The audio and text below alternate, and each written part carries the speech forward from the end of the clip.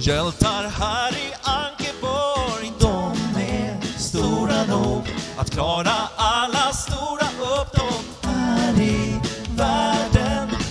De går på okänd mark,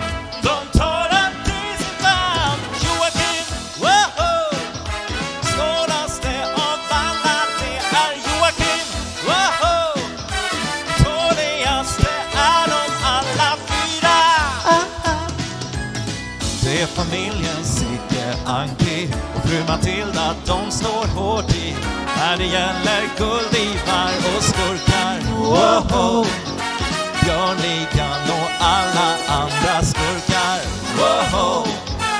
Är de tre nu smartare och fintar? Wow! Joakim tar aldrig segern ensam. Wow!